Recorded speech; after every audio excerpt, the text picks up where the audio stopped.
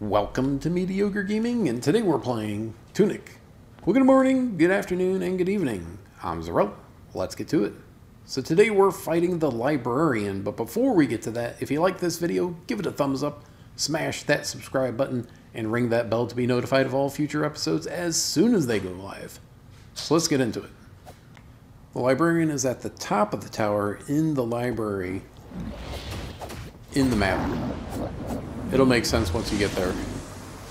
It has several attacks, uh, several summon attacks where it summons lightning bolts, uh, phantom creatures, and then kind of smashes down like that.